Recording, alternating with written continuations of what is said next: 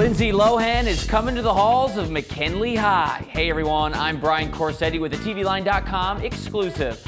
You heard me right, Gleeks. TVLine.com learned exclusively that Glee's producers are in final talks with Lindsay Lohan to guest star in one of this season's final episodes. And to top it off, she'll be playing herself. The movie star turned tabloid mainstay will be a celebrity judge as the Gleeks go to nationals. Other judges in seasons past are Josh Groban and Olivia Newton-John.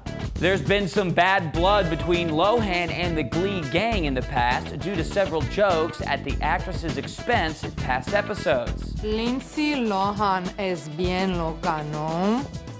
Will Lindsay and New Directions be able to bury the hatchet and make beautiful music? Guess we'll have to tune in to Glee's season 3 finale on Tuesday, May 22nd to find out. Thanks for watching, everyone. I'm Brian Corsetti. For more TV news, log on to TVLine.com and subscribe to ENTV for all your entertainment news first.